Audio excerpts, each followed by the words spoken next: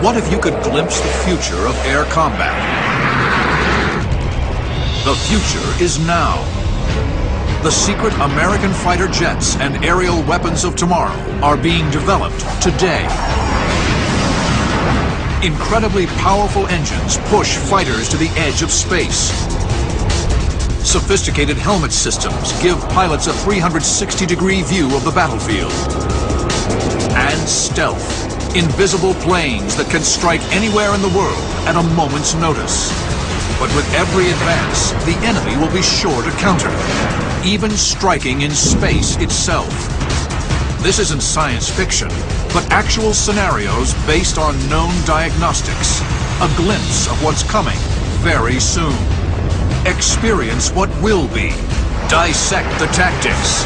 Witness the awesome spectacle of the dogfights of the future.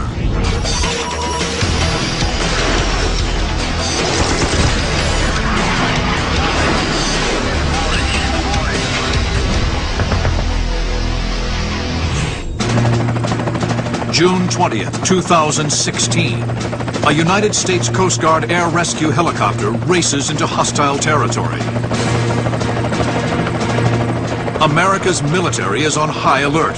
A civilian aircraft has been shot down by a foreign power, and a rescue effort must be mounted. To provide air cover, the Air Force scrambles a flight of four aircraft. F-22 Raptors, the most formidable fighter aircraft ever constructed.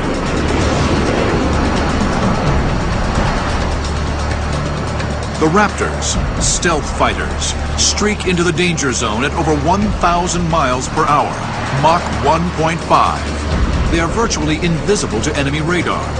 The F-22 is just one of a lethal new breed of fighting machine that even now are redefining aerial warfare. Quantity is a quality all of its own and the western world is very much putting its eggs in the basket of high technology fewer numbers that can achieve the same effects on the target because you have precision and stealth. These amazing machines are the culmination of a century of fighter aircraft development.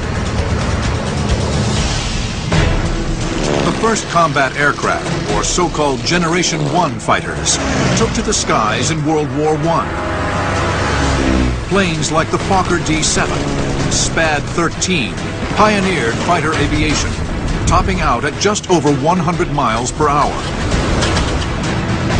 Generation 1 reaches its apex in World War II. Planes like the P-51 Mustang and German Bf-109 could fly and fight at well over 400 miles per hour. But by the close of that war, the first generation 2 fighters, jets, up the ante. One of these, the German Me-262, could fly over 500 miles per hour. After the war, the United States and Soviet Union developed their own Generation 2 aircraft. Like the F-86 and the MiG-15. They pushed over 600 miles per hour, near the sound barrier, in clashes over Korea. Lessons learned in the Korean conflict, coupled with far more advanced electronics, spurred a leap in speed and killing power for Generation 3 aircraft, like the F-4 Phantom and Soviet MiG-21. They topped out at over twice the speed of sound, some 1,400 miles per hour. third gen began to introduce avionics types of engagements, radar-guided missiles, and the air-to-air -air engagement. By the early 1970s, Generation 4 fighters like the American F-14 and F-15 were deployed. These aircraft featured far more sophisticated avionics. The electronics suite that supports navigation, radar, and weapons in developing the Gen 4 fighters, not only did they have a whole lot more computer power to work with, but it was a mindset change to create the ultimate killing machine. But no matter how fast or well armed, the advance of ground radar and surface-to-air missiles during the 1970s and 80s meant that entire sections of sky could be denied to even the finest Generation 4 aircraft. The life expectancy for a Gen 4 fighter over anywhere that we may go in the near future is, is very little. And I'd say easily 50% loss is only because the enemy is not going to have enough missiles to shoot these guys down. To survive and dominate this environment, radical new technologies are needed. Enter the F-22, the world's first Generation 5 fighter. First proposed in the 1980s, the F-22 is a single-seat fighter. It was unveiled to the public in 1997 and delivered to the Air Force in 2003. Its true top speed, a closely guarded secret, is well over 1,400 miles per hour. It is armed to the teeth with six radar-guided missiles and two heat seekers. The F-22 Raptor, I saw that first at Andrews back in 91. If Kim Basinger was an airplane, that's the one she'd be. Just a startlingly beautiful aircraft. It outperforms the F-15 in every regime when it's invisible to radar. It don't get much better than that.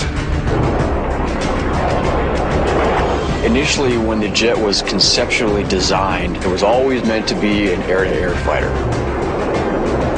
Because it was supposed to replace the F-15C, and that, uh, that jet's main role in mission in the Air Force was an air superiority platform. Now, a flight of F-22s will employ a startling array of high technology in a hypothetical future combat scenario. Four Raptors race to provide cover for an air rescue unit.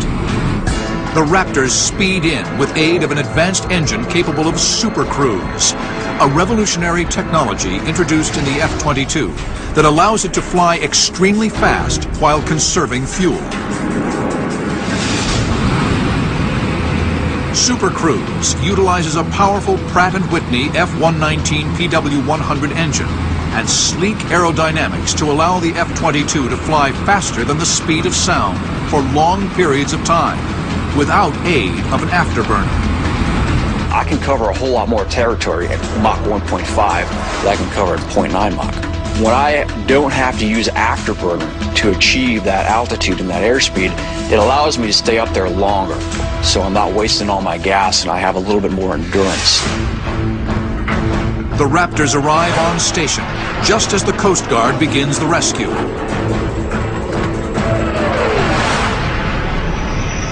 Then, the Raptors detect a formation of 14 enemy MiG-29s on radar.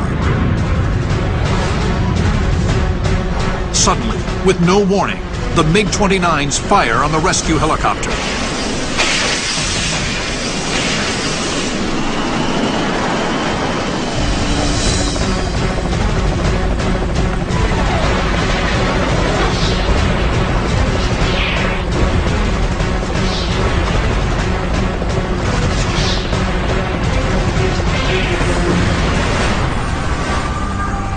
As the rescue helicopter's frantic radio calls fall silent, a stark realization sets in. The F-22 Raptor is now in a shooting war. They are outnumbered three to one. It's time to prove that the Raptor's technology really will make up for numbers. Their primary advantage and the cornerstone of Generation 5 technology is stealth. People don't understand how diabolical stealth is. A stealth aircraft is not completely invisible to radar, but if you track an aircraft, it means you have to track every sparrow and dragonfly in the sky. Stealth is not only the shaping of the airframe, but the material is used in the airframe for the sole purpose of not reflecting radar pulses back to the bad guy's radar. That first came into what we call an attack airplane as opposed to a pure fighter in the F-117 Nighthawk. The F-117 uses a uniquely shaped airframe to scatter radar energy. The odd angles made it unstable in flight, and the radar-absorbent coating was expensive to maintain. This early type of stealth could not be used in an air superiority fighter like the F-22. So engineers developed an improved form of stealth called planform alignment. Planform alignment orients flight surfaces and small structures on the aircraft at the same angle. The result is something like a camera lens that shapes and focuses radar energy and directs it away from the detecting station. This allowed engineers to design a much smoother, more aerodynamic shape for the F-22, making it stronger, faster, and more maneuverable than the F-117.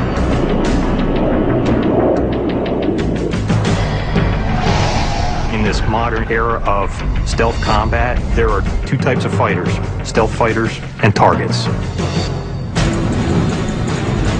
Now, witness how stealth will change the future of aerial warfare as a single flight of four Raptors engages a formation of 14 MiG-29s. The F-22s are invisible to the enemy. They can pick where and when to begin the fight any other fourth generation fighter aircraft in the world. For the most part, what they're going to see when they're being targeted by a flight of Raptors is nothing. The Raptors obtain lock and fire. The missiles deploy from internal weapons bays. If the missiles were mounted externally, the F-22's stealth outline would be broken. Warnings blare in the MiG-29 cockpits.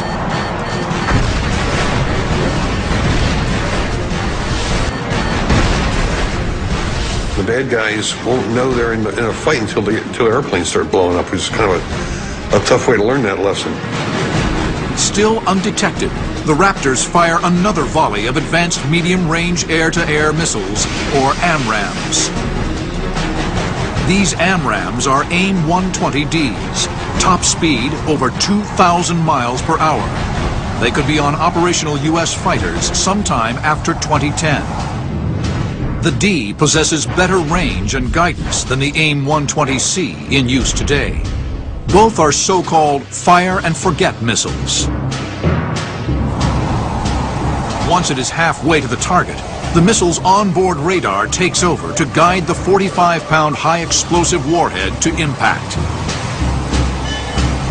So what that basically allows us the capability to do is designate a target, and once its own radar acquires a target, then it allows us in the cockpit to basically forget about that missile.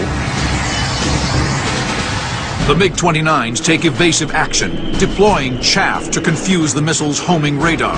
Some manage to cheat death, but in the end, eight are destroyed or damaged. The rest retreat to friendly airspace. The engagement typifies the strengths of the F-22 in a dogfight of the future. What does fifth generation give you, fourth generation doesn't? You'll know where the other guy is. You'll know what he can do. You'll know he can't reach you and you can reach him. You'll always engage from an advantage, and the advantage is tremendous. But just as the Americans believe the fight is won, an ominous signature appears on long-range radar. Nearly 150 miles to the east, an even larger enemy force of 24 Su-30 MKI flankers and Mirage Rafales race to the aid of the MiG-29s. The F-22s are outnumbered. In the F-22, we routinely train to fighting outnumbered. We realize that if we only have a certain number of operational squadrons of F-22s, we're going to have to do a whole lot with not very much. The F-22s move to engage the enemy force. Their only hope of surviving against these overwhelming numbers will be a secret future weapon. One few today have heard of, capable of astounding destruction.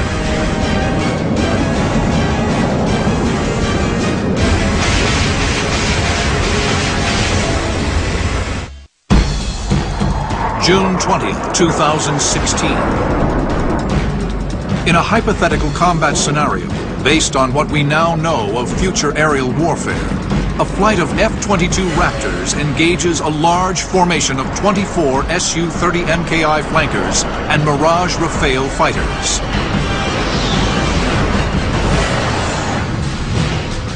Aircraft like the Russian-built Su-30 and French-built Rafale are widely exported and easily obtained by nations looking to build an air force quickly. They are advanced Generation 4 fighters, the most likely opponents for the F-22 in the next decade. The Raptors are heavily outnumbered, but virtually invisible to radar, and at a safe distance of 80 miles away.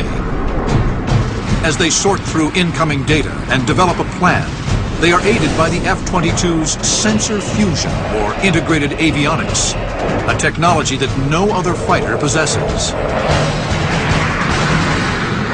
Previous generations of fighters, like the F-15, separated avionics into individual systems, requiring the pilot to interface with several different panels spread throughout the cockpit.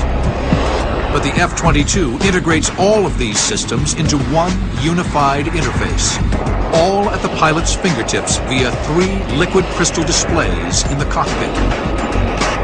What pilots don't lack for is data. What they need is information. And sensor fusion gives them information instead of just lots of data from different sensors.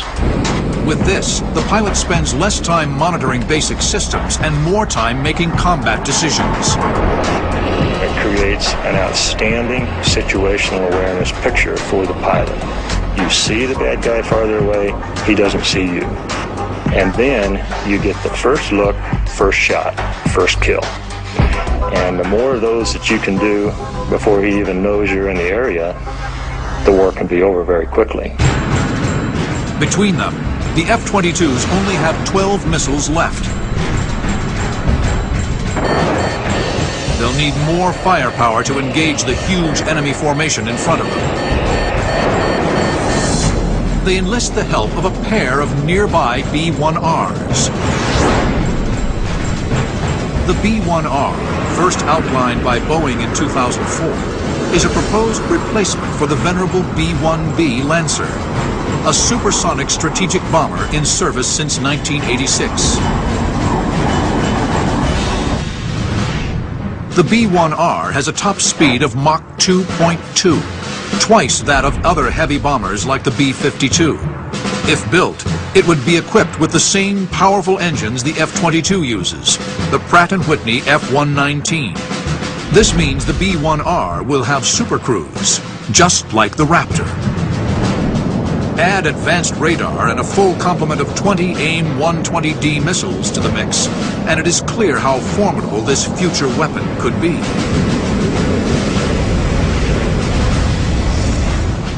Let's say we have a Raptor that's able to detect, localize, and fix an enemy aircraft. Transmit that information back to a command and control circuit or to the bomb truck or the missile truck itself. And then have the missile truck fire the missile against the enemy. The large aircraft like a B-1 can carry so many missiles that it doesn't really impact when one is fired. And they can also afford to fire two or to ripple missiles if they need to. This sort of highly technological teamwork between multiple air assets is another key aspect of how a future air war will be waged.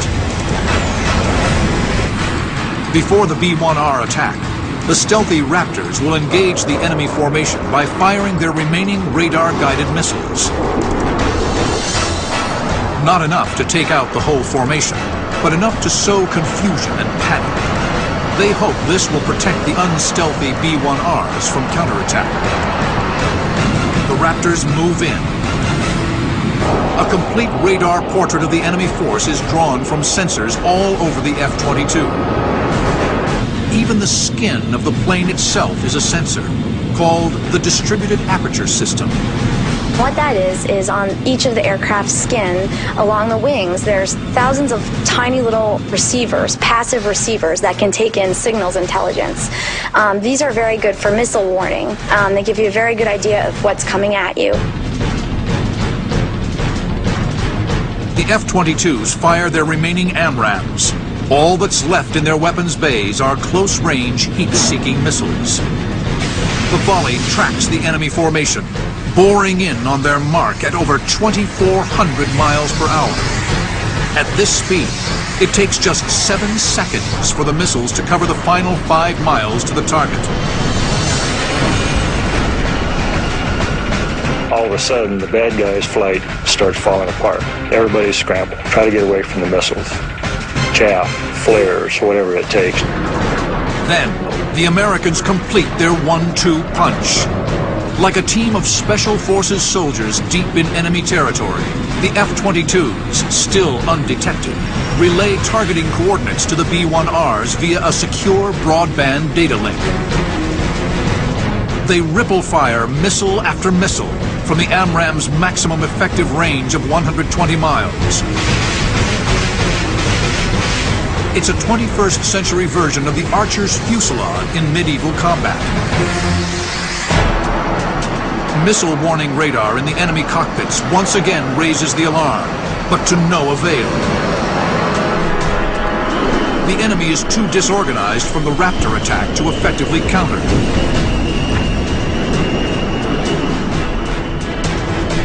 The chaos among the enemy ranks perfectly illustrates the stunning advantage of high technology in a dogfight of the future. Can you imagine what that would do to a command and control cycle when all of a sudden your aircraft are disappearing from missile shots and you have no idea where the uh, where the targeting is coming from? In just a few moments, it's every man for himself. Radio chatter is intense as the enemy tries to determine who is alive and who is dead. But among the confused and scattered formation, a handful of pilots flying French Rafales managed to survive the storm of AMRAAMs from the B-1Rs. Here's how. In order to defeat a missile that's been launched on you, first of all, you got to know it's coming. So you've got to have a, a good radar warning system that's going to let you know, A, you're locked on, and B, there's been missile launch at you. The AMRAAMs fired by the B-1R use Doppler shift in the radar returns to calculate path of travel, speed, and distance to a target. For the Rafales, survival depends on understanding this and knowing how to overload the missile's tracking system. The enemy pilots survived by breaking into the AMRAAM, perpendicular to the missile's flight path. Then they released chaff, strips of aluminum that reflect radar energy.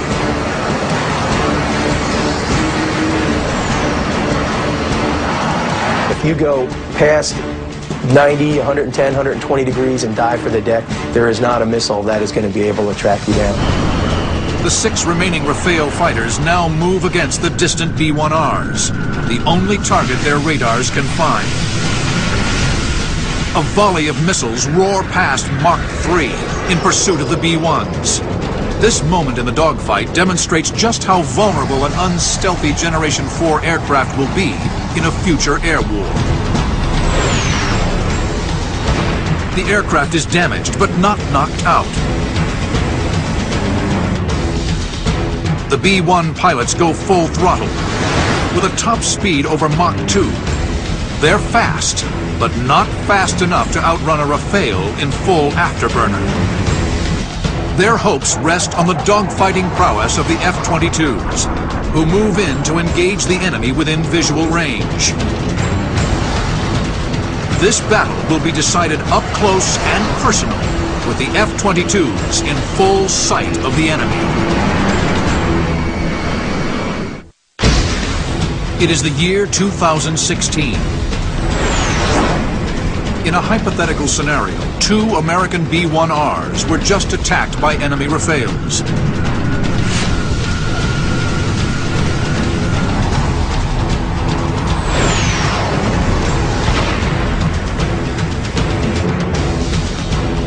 Now, it's up to a flight of F-22 Raptors to intercept the Rafales before the B-1s are lost.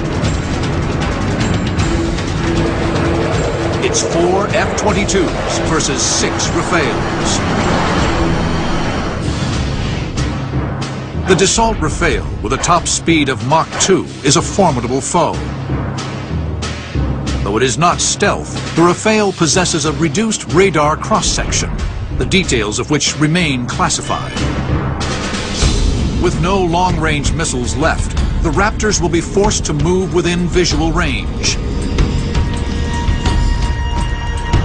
It's a scenario that has been repeatedly declared extinct especially when you talk to the defense contractors today, because they are always talking about the importance of sensors and systems and avionics and how we've really gotten beyond the dogfight. And it's always turned out that we do get back into these close in conflicts where you're going to be eye to eye with the opponent.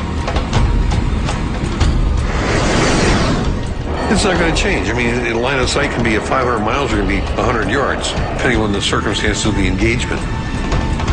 The other guy can just get lucky and get in close in which case the F-22 Raptors have to show how well it can maneuver. The Raptors assign targets. I'm going to go to the merge and I'm going to get the job done. Now, like I said, if, if I can't shoot BVR, then I've got to go within visual range to get the job done. In seconds, one of the Raptor pilots spots a glint of metal on the horizon. The Rafale breaks into him. Within visual range, stealth no longer hides the Raptor. They speed towards the merge, roaring past each other at over Mach 1. Just like dogfighters of years past, these 21st century pilots turn into each other to initiate combat. Unlike previous generations, the F-22's onboard computer is actually monitoring how the maneuvering is stressing the aircraft. If I'm asking the jet to do something, the computer decides that it would overstretch the airframe, it won't let me do it. And in an F-15, the jet will not prevent you from over-G the aircraft. Uh, the F-22 will prevent me from overstressing the airframe uh, to, to ensure the long-term uh, health of the airframe. Finally, the F-22 gains lock and fires. The Rafale dives and breaks, releasing flares to draw off the missile. This engagement is over.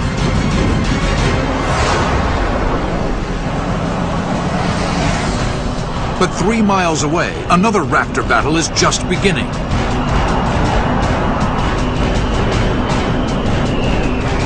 He's locked in a vicious circling fight with another Rafale. This F-22 pilot uses an advanced maneuvering technology called thrust vectoring to gain the advantage on his enemy.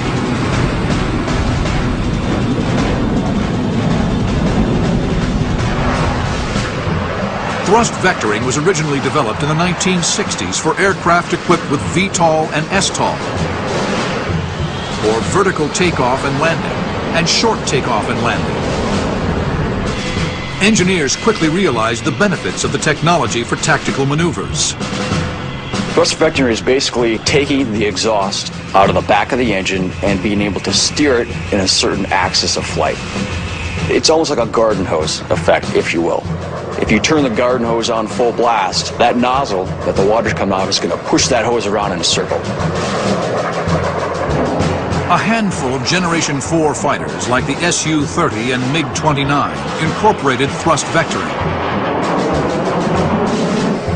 But not the American F-15C.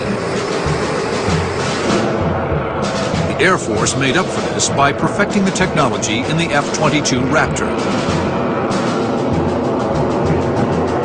As the Raptor turns, the aircraft's onboard computer makes tiny adjustments of the thrust nozzle to improve the turn radius of the aircraft. Everybody talks about thrust vectoring as if there's some magic switch you push or something like that. There's not a light that comes on that says thrust vectoring's working. And so it's blended very smoothly. The pilot has no idea when it's moving. And so it's just effortless. The airplane flies and points and does what he wants it to do.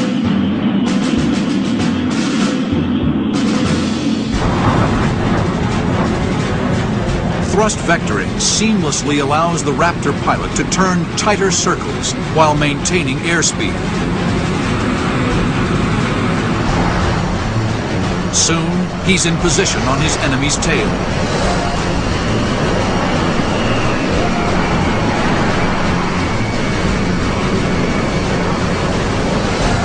But suddenly, a second Rafale crashes the party. The enemy gains a faint lock on the F-22 and fires. A missile warning blares in the Raptor pilot's helmet. If I'm looking back over my shoulder and I see a puff of smoke and a missile flying my way, there are certain uh, evasive maneuvers that I will take as a fighter pilot to try and uh, defeat that missile. It's a combination of maneuvering and, uh, and chaff and flares. The F-22 easily breaks the missile lock, but the maneuver has put him out of position. Now he must work with his fellow pilots to turn the tables. The scenario where I'm in my fighter and I'm in a world of hurt and I need some help. My buddy, who I've been training and flying with for five years, that guy or that gal will stop at nothing to put, come and put their life on the line to save mine. Voice communications between pilots are handled by the Raptor's integrated avionics system. The second Raptor quickly comes to the aid of his fellow pilot.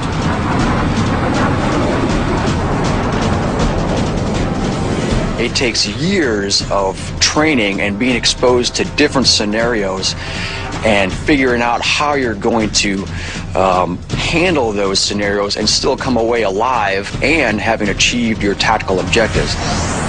The first Raptor breaks hard into his opponent, forcing him in the direction of the second Raptor. The second Raptor locks on with his heat-seeking AIM-9X Sidewinder missile. The AIM-9X was approved for full-rate production in 2004 and should be fielded at any time. Many details are classified, but it is known that it will possess a type of thrust vectoring technology called jet vane control, which gives it much greater agility over its predecessors.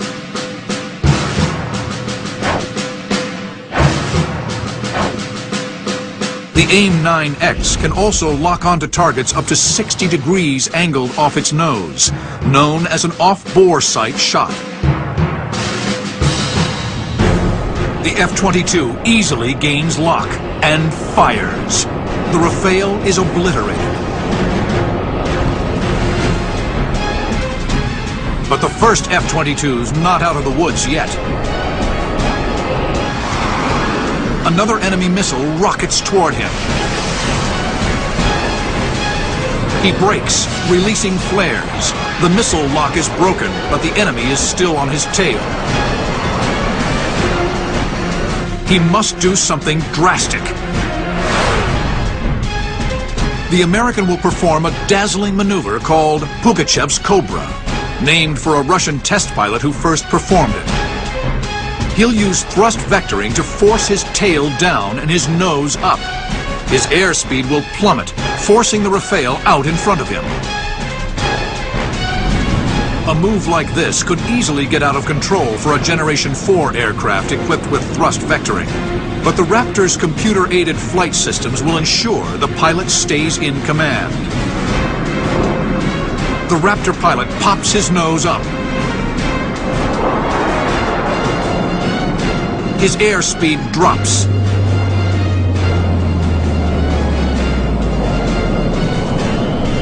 The Rafale fights to stay in the turn, but has no chance. He shoots past the Raptor.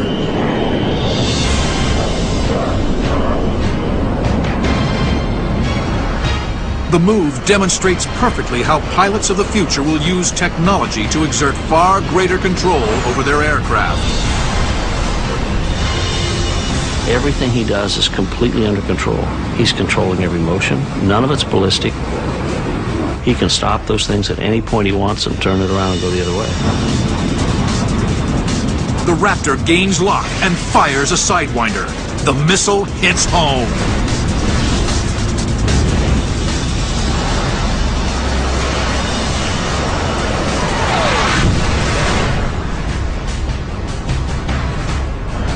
The rest of the enemy force flees south.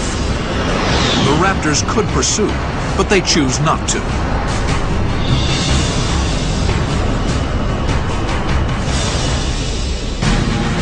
In air-to-air -air combat, the United States Air Force believes the F-22 will remain dominant for at least the next 20 years.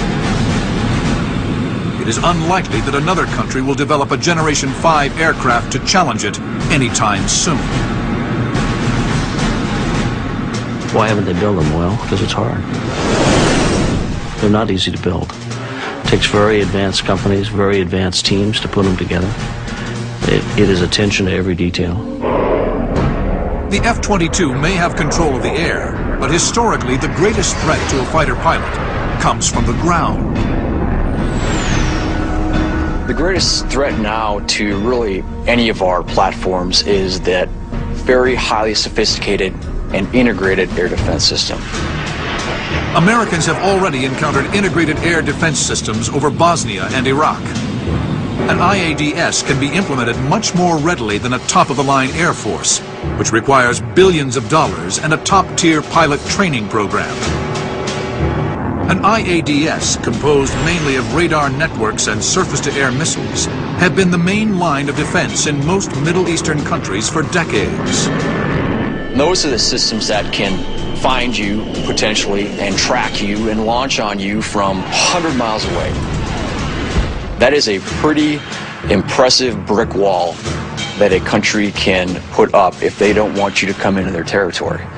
So you've got to find new ways to get up to that wall and knock the thing down. In the future, these radar stations will be harder to find and destroy. Surface-to-air missiles will be longer range and more accurate. A strike mission against any country equipped with an advanced IADS will put the pilot of a Generation 5 fighter to the ultimate test. July 22nd, 2019. In a hypothetical combat scenario, a joint strike force of American and British planes soar over the Caspian Sea. On this night, a mission to strike suspected uranium will be fortified with an advanced integrated air defense system.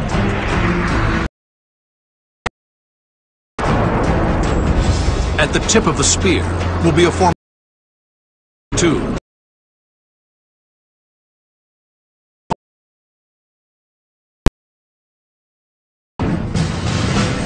The F-35 began its development process in 1996.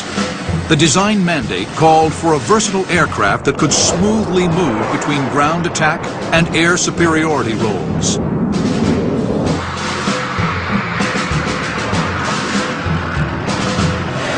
The F-35 was meant to replace other strike aircraft like the F-15E, F-16, and F-18. It is hoped it will be the world's premier strike aircraft for the next The airplane that the F-35 is going to have any trouble with would even be parity with it would be the Raptor. Nobody else would be close. With a single powerful engine, the F-35 tops out at Mach 1.6, but it lacks Super Cruise and it incorporates the same stealth characteristics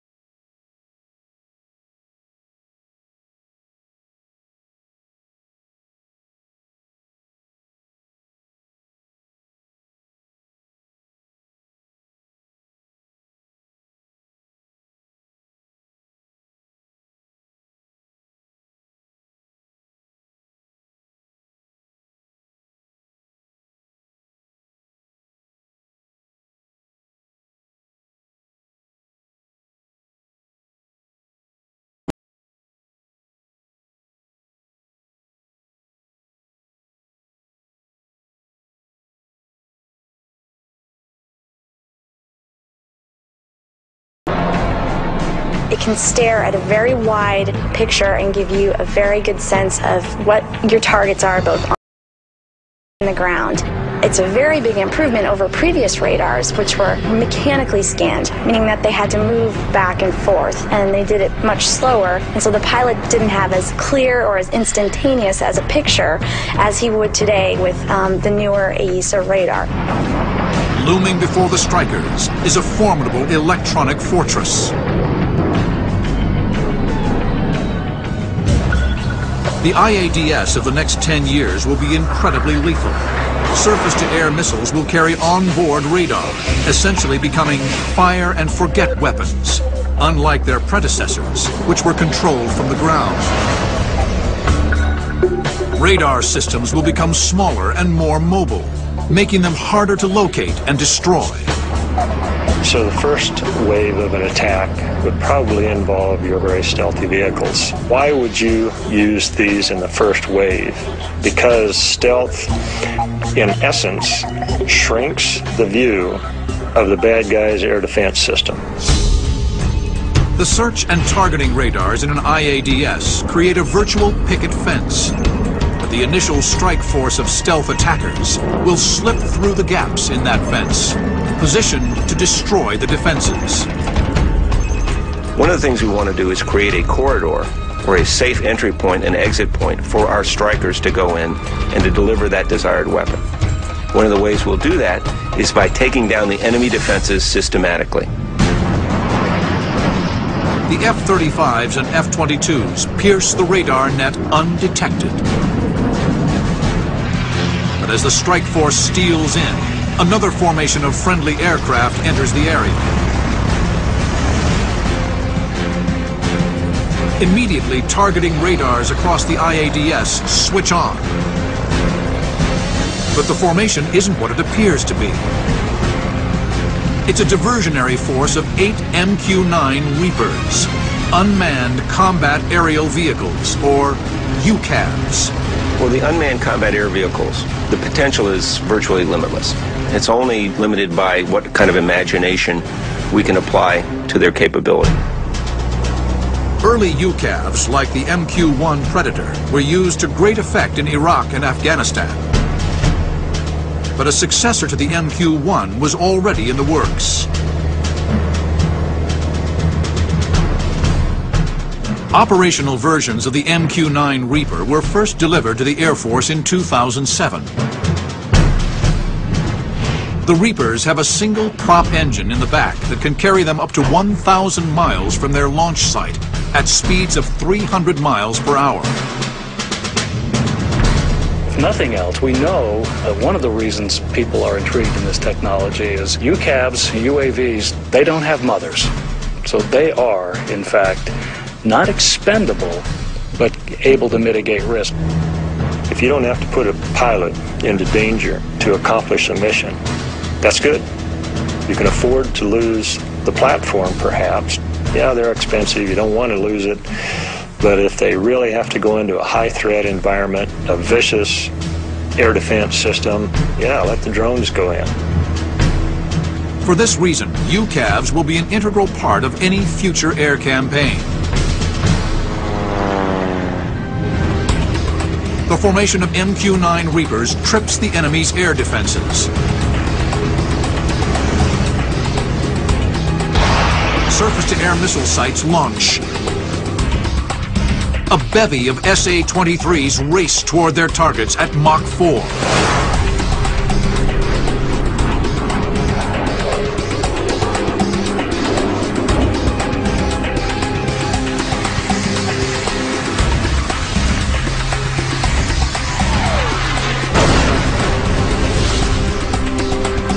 The SAMs easily track and destroy most of the decoy formation. But with radars active, their positions are plotted by the F-35s. The Lightnings snap into action. Aided by the same integrated avionics suite used in the F-22, they smoothly share targeting data. And overall, this ability to send messages between the cockpits can't be underestimated because when you look at your fourth generation fighters, you're in an F 16, you're always looking around you, where's my threat, where's my threat, and trying to build that picture all the time. Well, if you're in a Joint Strike Fighter, you have the ability to instant message your images between each other. So all of a sudden, you're looking at the exact same threat, and you both have the exact same concept of what kind of fight you're going to be in. Two of the F-35s roll in to deliver AGM-88 HARMs against radar tracking stations. The HARM, an anti-radiation missile, locks onto the station's radar signal and homes in for the kill.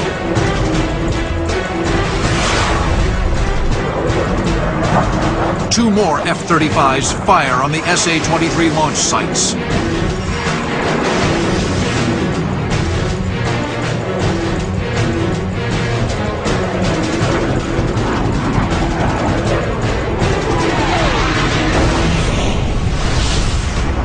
Several other lightnings, filling the electronic countermeasure role, jam other targeting radar stations to prevent further launches. Another thing you can do with an AESA radar, and it's classified, is in essence fry the other guy's electronics. There's enough energy that you can focus with one of these radars that you can just cook his computer. Maybe you can knock out some of his radar system. The F-35s have met with spectacular success, clearing a corridor for bombers to travel straight into the target. A pair of B-2 Spirits, the venerable stealth bomber, now enter the corridor on a final run-in. The F-35s maintain the corridor, but suddenly a new threat appears on their cockpit displays. They know their role must change quickly. The enemy has scrambled two separate formations of MiG-35 fighters. One is headed for the target area. The other moves in from the west. The Raptors can easily handle one formation, the Lightnings will be forced to deal with the second. The shadow boxing is over. The Lightning must now demonstrate that it isn't just a ground attack plane. It's a dogfighter as well. July 22nd, 2019. After devastating enemy surface-to-air missile sites, a flight of F-35 fighter bombers must now engage in air-to-air -air combat. Eight MiG-35s threaten the strike package from the west. The MiG-35 was first unveiled in 2007. The successor to the highly regarded MiG-29, the MiG-35 utilizes a thrust vectoring engine, AESA radar, and advanced avionics. Like the MiG-29, the Russian-built MiG-35 will be heavily marketed to foreign buyers. Although stealth aids the coalition forces, a pair of B-2 Spirits en route to the target area are still in danger. At close range, the enemy may be able to resolve even the low cross-section of a B-2 probably the most wonderful thing you could have as a MiG pilot would be to see a big, large black Dorito chip flying at 0.7 Mach at 35,000 feet over your homeland and saddle up for a guns kill at uh, 500 yards behind it.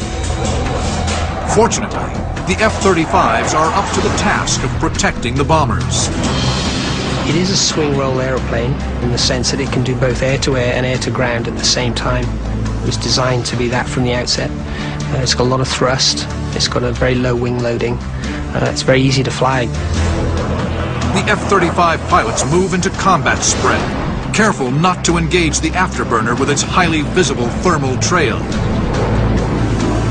They seamlessly share targeting data and coordinate a long-range assault. Like the F-22, They are aided by an integrated avionics system that makes these tasks much easier than in previous generations of fighters. It's a lot like going from an old DOS operating system on an IBM PC in the 80s to a Macintosh, Windows, very intuitive kind of environment now. Uh, we have examples where you take uh, brand new second lieutenants out of the Air Force and drop them in the simulator. And they hop in, they see where the targets are, they engage them in 20 or 30 minutes, and they hop out with a grin on their face saying, yo, when can I get myself one of these? On the flight lead's command, missiles are deployed. Again, like the F-22 from internal weapons bays. The AMRAAMs race toward their targets. The MiG-35 use AESA radar to jam the missile's guidance. With hard maneuvering, they fight to break lock.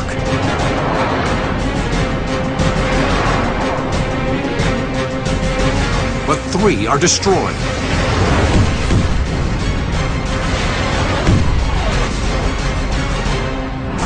The F-35s monitor the attack from a safe distance. But for one pilot, the situation has changed. A missile has jammed in the bay door. This hypothetical illustrates that even in planes of the future, Murphy's Law is at work. The malfunction disrupts the stealth outline of the Lightning. In moments, his position is betrayed to every radar station in the area. The surviving MiGs move in to intercept. Surface-to-air missile sites track his every move. This pilot will have to use every advantage the F-35 has to get home alive. Including a remarkable technology that gives him an unprecedented view of the nighttime battlefield. The helmet-mounted display. The helmet-mounted display, or HMD, is a technological marvel.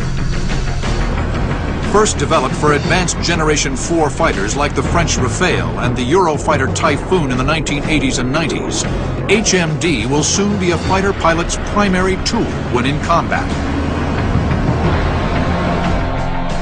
An American HMD has been designed for use in the F-35 and will be standard on the Lightning when it is deployed to operational units in 2010. I can't go into too much detail, but essentially in the F-35, the helmet-mounted display is the primary flight instrument. So here, the cockpit is very much designed to be secondary in some respects to the helmet. While previous fighters displayed navigation and targeting information on LCD screens or a heads-up displays, the HMD projects this information onto the pilot's visor.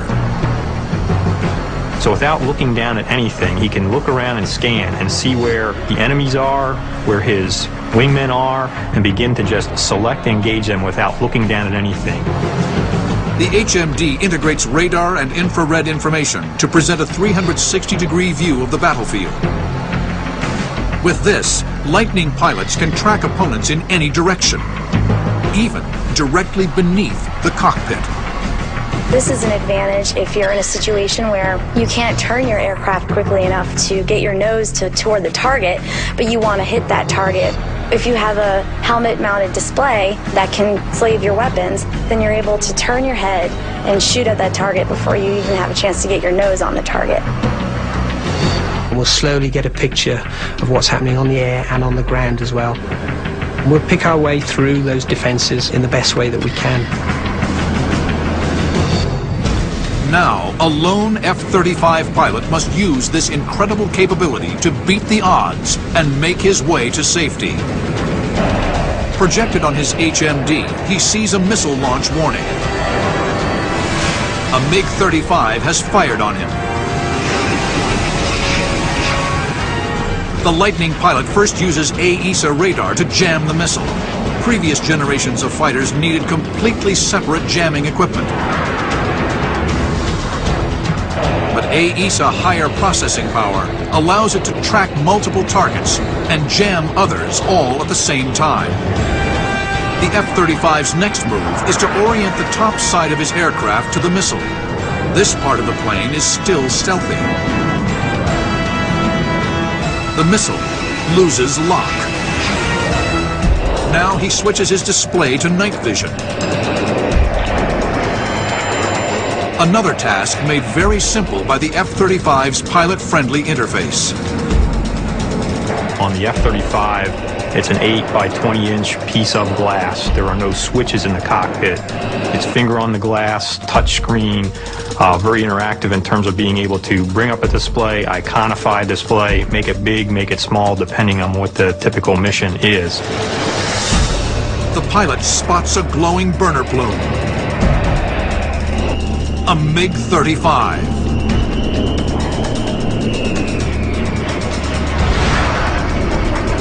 Lightning pilot slaves his missiles to the HMD. The missile's seeker head will now work to obtain lock on anything the pilot looks at. Just a glance, and the enemy's fate is sealed. But simultaneously, a SAM launch warning is projected onto the Lightning pilot's HMD. Again, he jams the missile and maneuvers against it.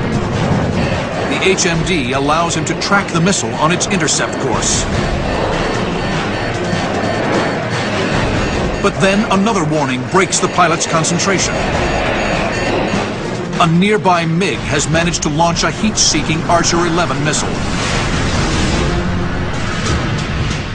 The Russian-built Archer 11 has been the standard heat-seeking missile for MiG fighters since 1985. Continued upgrades will make the Archer 11 a threat long into the future.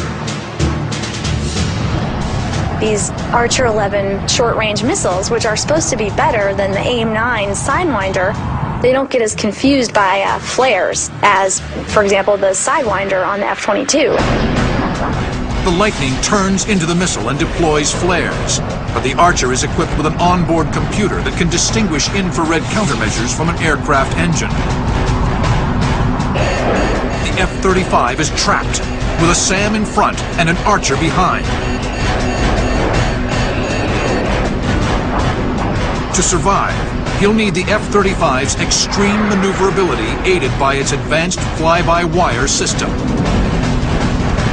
Fly-by-wire was something that was introduced on fourth-generation aircraft the F-16 was the pioneer of that technology. It was fly-by-wire from the pilot's stick to the computer, and then it went through a conventional hydraulic system out to the flight control surfaces. But the F-35 goes one step further. The computer takes pilot inputs, then relays them to still more processors that control the flight surfaces individually. So it's very, very maneuverable, and it has to be but very, very benign in, in situations like landing on a carrier or landing in a STOVL kind of configuration. As the SAM closes in, he rolls, punching chaff and flares.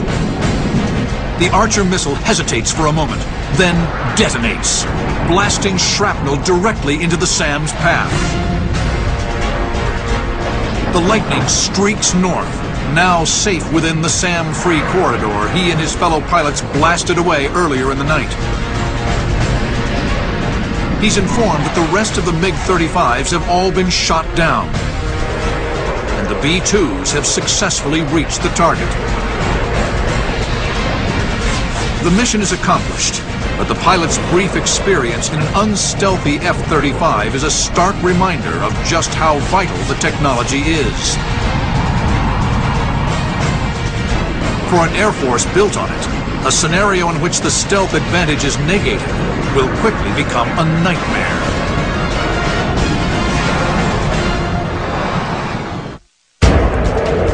April 8th, 2027. In a hypothetical future combat scenario based on known diagnostics, a formation of eight French-built Rafales flies a patrol over the Pacific Ocean. A flight of four American F-22 Raptors accompany them. Even 20 years into the future, this remarkable aircraft is expected to remain the dominant air superiority fighter.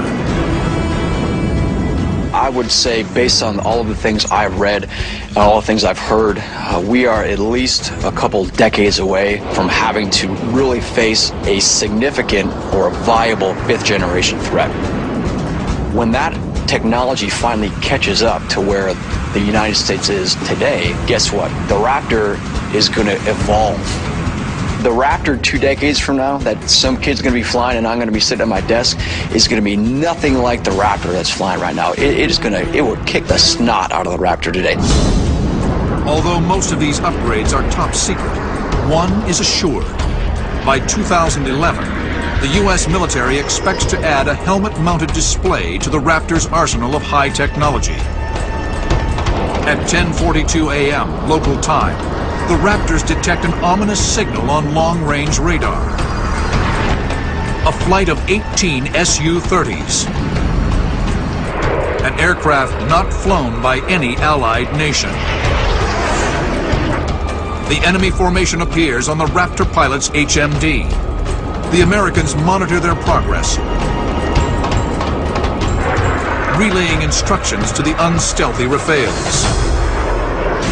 At a range of 25 miles, the Su-30s fire on the Rafales. A salvo of long-range radar-guided missiles. They streak towards their target, covering one mile every two seconds.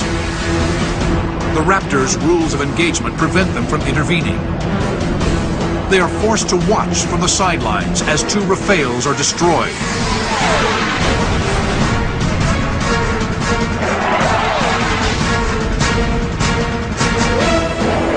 The rest retreat, unable to stand and fight in the face of 5 to 1 odds.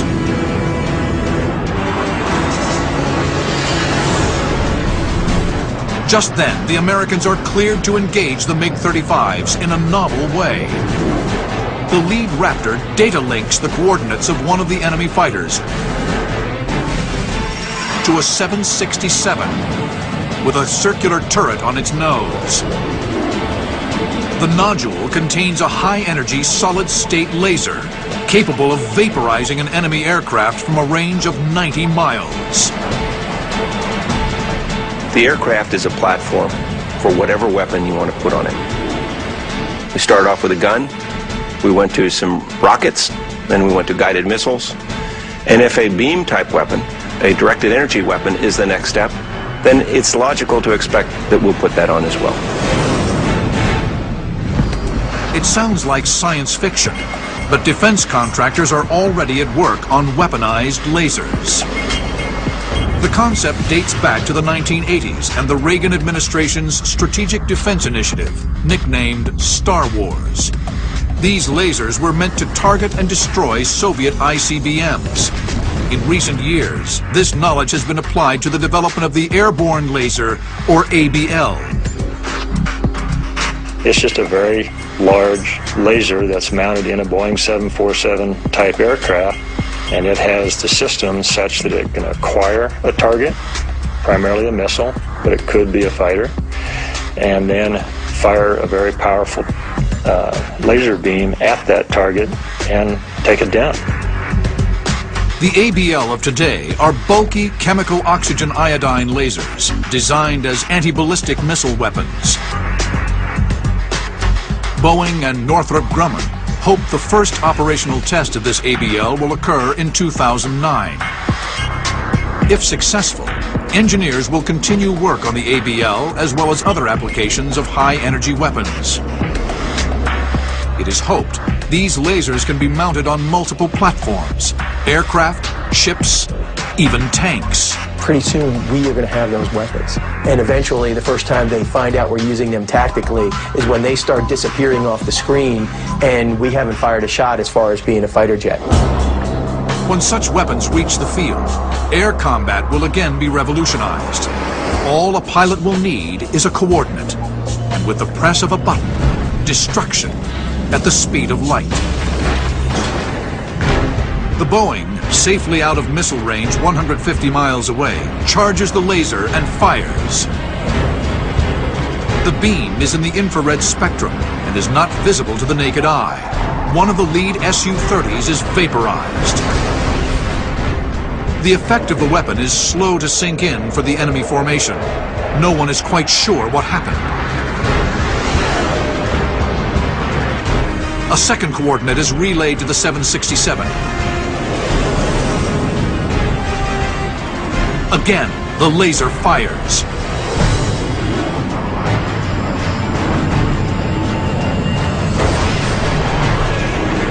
Now the Su-30s take evasive action, diving toward the Pacific to flee the lethal ray. With open war at hand, the Raptors secure permission to engage any hostile target.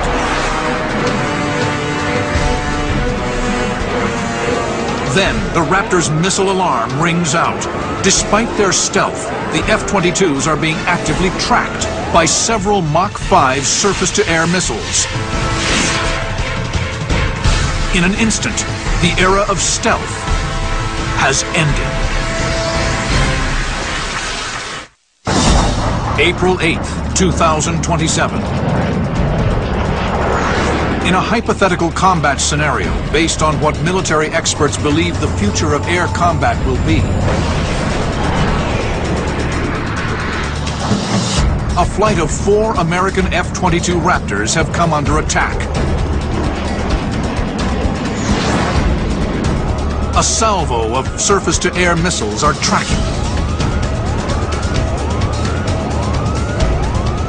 They've locked onto the stealthy F-22s using low-frequency radar. A vulnerability of stealth technology exploited by the Serbs in Kosovo in 1999. During this conflict, an F-117 Nighthawk was lost to a surface-to-air missile that was modified to use low-frequency radar to lock onto targets.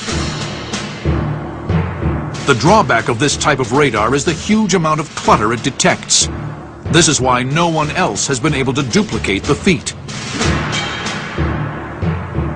Though they say that low-frequency radar could possibly see stealth aircraft if it was computer-aided and they were able to clean up all the clutter and then actually focus in on a stealth aircraft.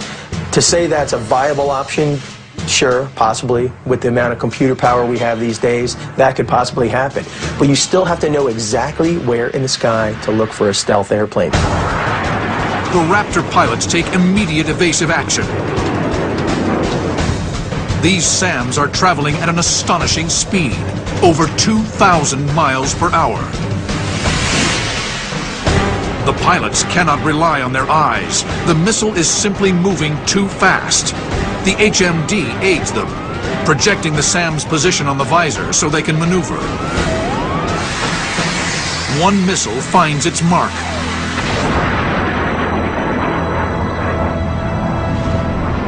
Hurling deadly shrapnel into the air like firing a shotgun the size of a telephone pole directly into the Raptor. The American is forced to punch out.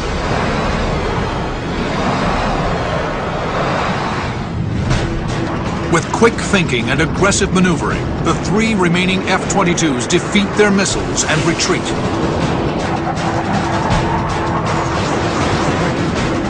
But as they withdraw, another warning blares. They've been fired on again. This time radar-guided air-to-air missiles, seemingly launched out of the clear blue sky. This adversary seems to have Generation 5 technology. I think the first time we face a Gen 5 fighter as the United States, it's going to be a surprise. We're probably not going to know they have it.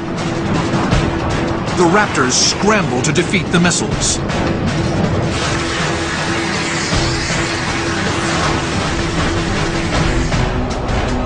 Then they pick up several faint radar contacts. Enemy aircraft moving towards them at Mach 2.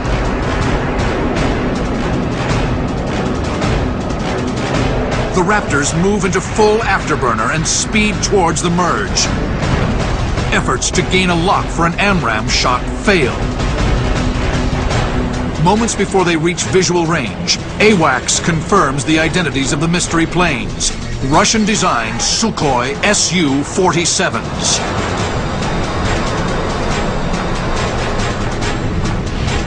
The Su-47 was introduced in 2000 and is only at the beginning of its development. But the Russians hope this will be the first Generation 5 aircraft built outside the United States. They have the technology. It's just a matter of them getting the money and the wherewithal to put it together and and the threat. Right now, I mean, they're not threatened by us. They're not doing anything to us. There are other countries out there that are threatened by us, and they do have the money. So sure, are they going to probably get some stuff from Russia? Probably. The Sukhoi, top speed over 1,500 miles per hour, has a unique forward-swept wing, giving it greater agility in a dogfight. With thrust vectoring, advanced avionics, and AESA radar, the Su-47 will be a formidable adversary. We will already have a game plan to do battle with that type of fighter. And we have that already because there's Raptors fighting Raptors. So they're already developing techniques and tactics against other Gen 5 fighters. The Raptors and Sukhois fire radar-guided missiles at long range, testing each other out. Their AESA radars easily jam the missiles, and a few simple maneuvers break lock.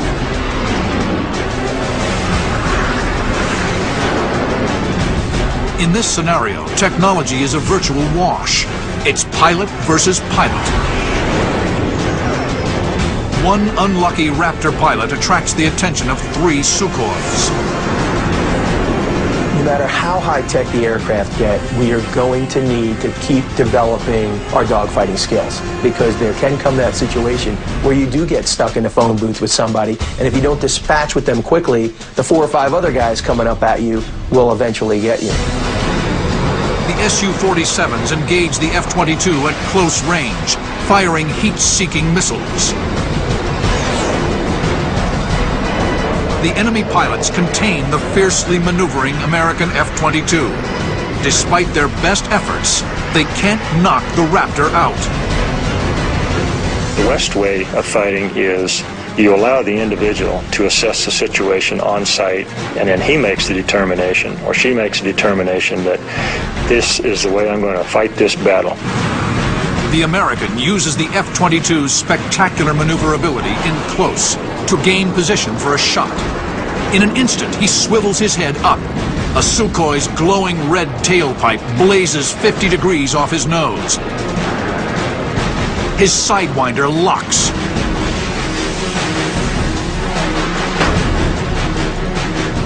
The missile streaks in, its continuous rod warhead, a packed ring of welded steel rods, bursts open inside the aircraft. That's why we are training our people to do air-to-air combat as well as air-to-ground and not just beyond visual range air-to-air combat. We're still teaching basic fighter maneuvers, how to handle the close-in fight. The Raptor quickly rolls and turns. The Sidewinder shot has improved the odds, but a quick check reveals he's now in a dangerous position sandwiched between the two remaining Sukhois. Quickly, the American formulates a plan, one that harkens back to the golden age of dogfighting. In the event the worst case happens, uh, and you do get into you know close quarter combat, you still want to have the ability to fight your way out with a gun. The Raptor is equipped with a single Vulcan rotary cannon mounted in the starboard wing root with 480 rounds of ammunition, strictly for close encounters. The gun in the Raptor is really designed to be an air-to-air weapon. Uh, the gun is an effective weapon. With some of the new bullets, the ranges go up quite a ways. Past generations of fighters have made the mistake of not carrying a gun. Most notably the F-4 Phantom. When it took to the skies over Vietnam in the 1960s, it was roundly criticized by pilots. Missiles of the time were unreliable, and without a gun, pilots had no backup. Since then, air superiority fighters have always had a gun. Using his HMD, the American looks through the floor of his F-22, tracking the movements of the enemy beneath him. He rolls inverted, then gains lock, using his AIM-9X's ability to track targets at any angle. As the missile streaks away, he deftly adjusts the nose, firing a well-aimed burst just before blacking out.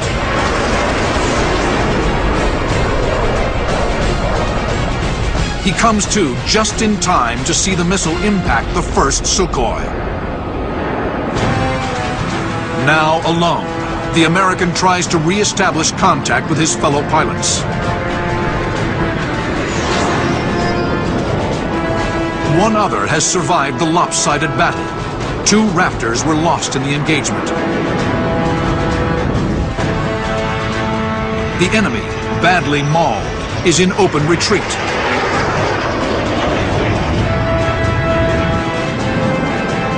Raptors form up and head east. But as they retreat to safety, garbled transmissions begin trickling in. Command and control has clearly taken a hit. Then the Americans receive shocking news. In the opening moments of the war, a score of military and commercial satellites have been blinded.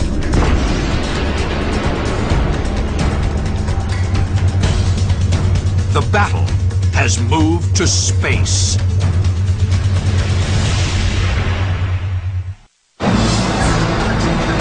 April 8th, 2027. War has broken out over the Pacific. In the opening moments, anti-satellite weapons are deployed aboard missiles launched from the surface. The final stage of the rocket carries a kinetic so-called hit-to-kill vehicle to a devastating collision with an American military satellite.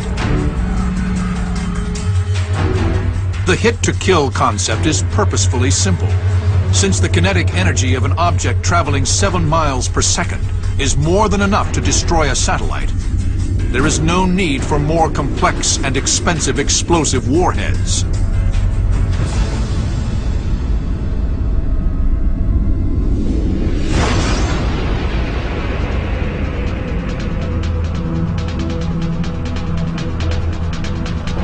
American forces engaged in the fight are crippled.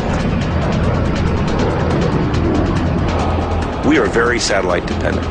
GPS is very important to almost everything we do tactically, to developing a big picture, to transmitting information back and forth from our command and control circuits.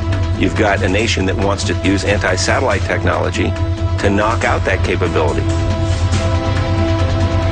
Just talking in the military sense, we do rely on the spaceborne platforms for a lot of information intelligence, surveillance, reconnaissance, communications, missile warning, navigation, and even weather.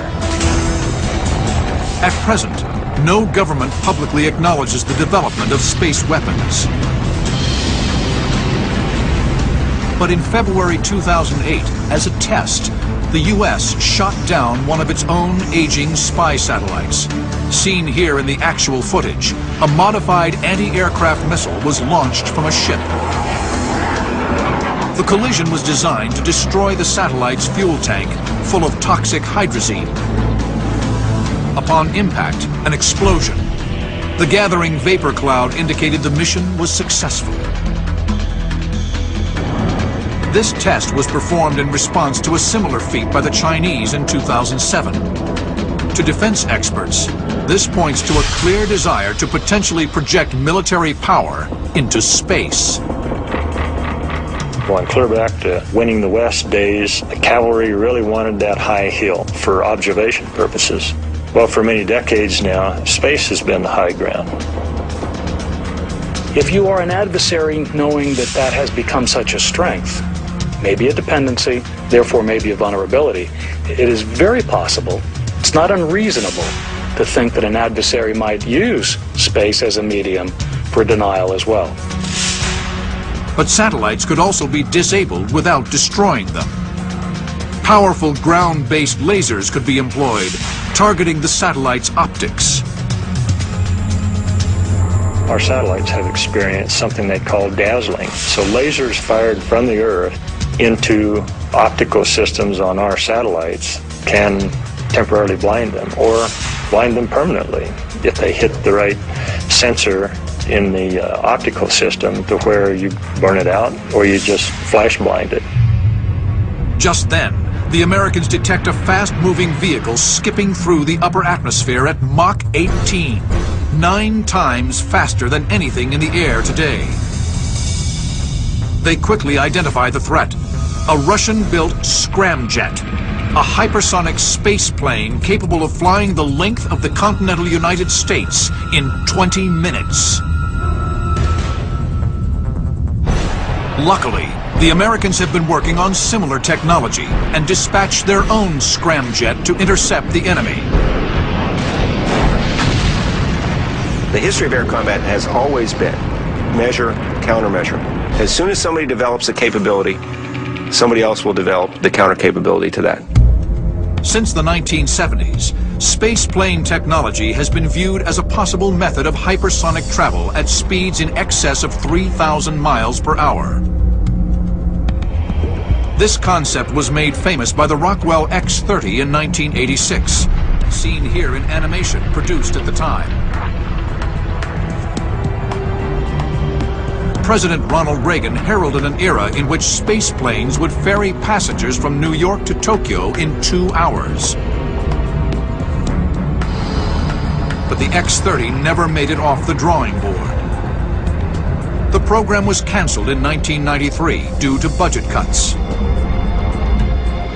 The X-30's scramjet propulsion system, however, has not gone away. The Air Force is currently experimenting with the X-51, a vehicle meant to simply test the functionality of a scramjet engine or supersonic combustion ramjet. The engine itself is a simple power plant with no moving parts that harnesses the high pressure of air entering the intakes at supersonic speed. The compressed air is mixed with fuel and ignited to create very high propulsive thrust.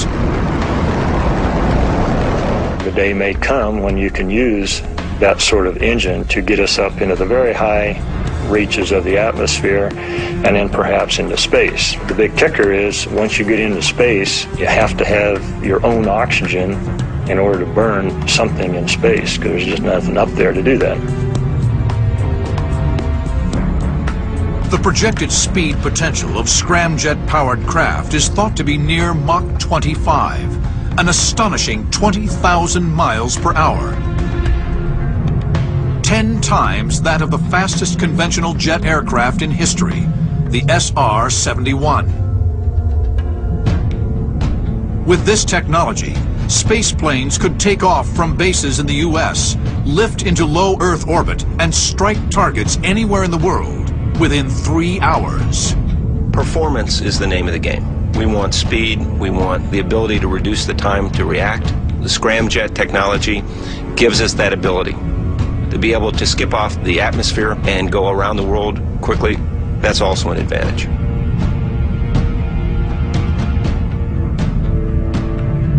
Both spacecraft accelerate, slipping free of Earth's atmosphere into orbit 100 miles above the surface the American maneuvers within range of the enemy scramjet. Since conventional missiles are useless in the vacuum of space, the only armament the scramjets carry are beam weapons, high-energy lasers similar to those currently being researched for missile defense. The stage has been set. For the first time in history, two pilots will duel to the death at the very edge of space.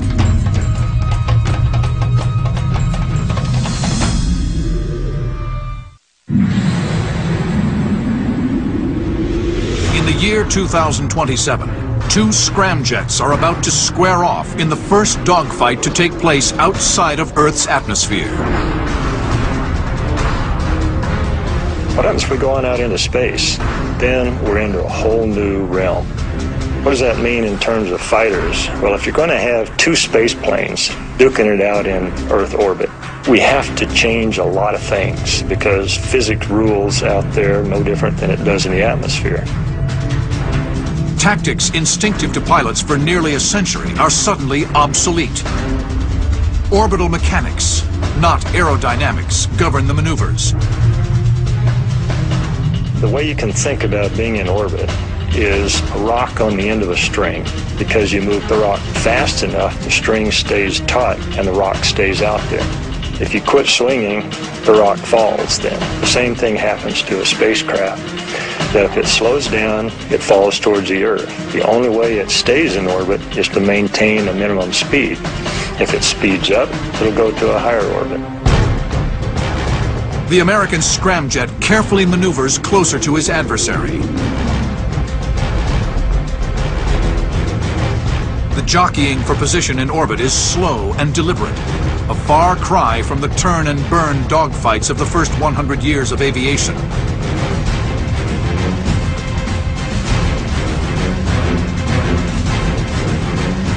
But the results will be just as lethal.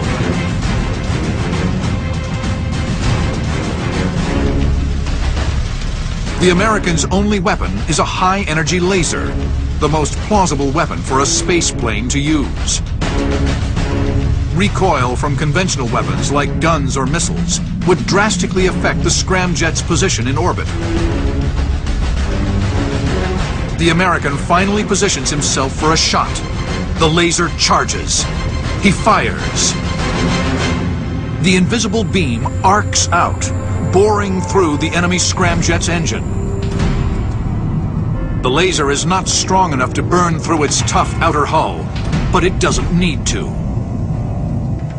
As the scramjet decelerates, he drops into the atmosphere. The friction of re-entry superheats the aircraft. The tiny surface damage near the scramjet's engine cracks and opens. Soon, the entire vehicle breaks apart.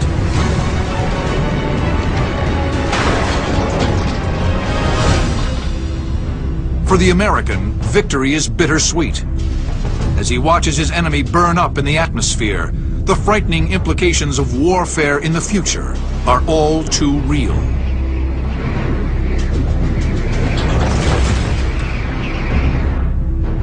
From here to the very edge of space,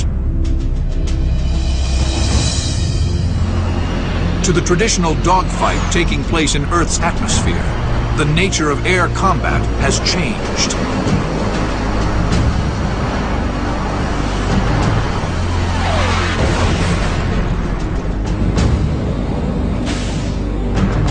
The air combat situation doesn't become less complex, it becomes more complex. Now you have more variables.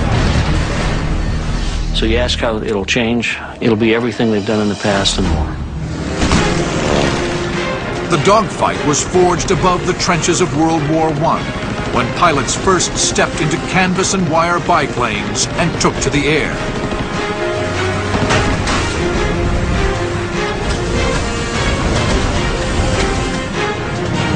Its golden age came 30 years later, when incredible, powerful piston-driven fighters clashed over Europe and the Pacific.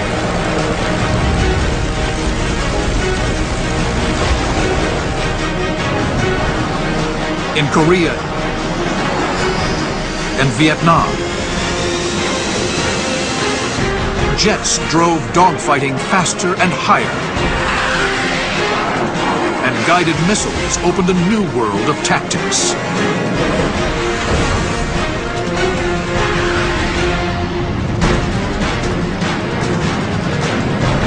Modern age of air combat has seen astonishing leaps in technology. And there is no reason to think this progress will be slow.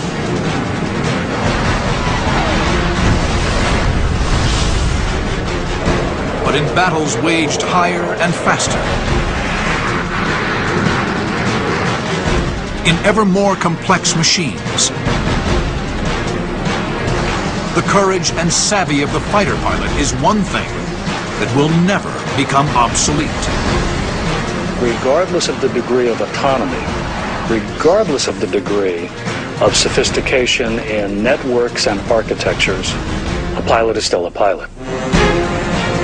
There will always be a need to fly aircraft aggressively and capably against other aircraft. And there will be dogfights in the future. It's, it's guaranteed. Exactly how long they will last, who they'll be with, what the outcomes will be, those are all up to the participants. And the pilots of the future may not look and may not think exactly the way I did, but they will adapt. I am very confident.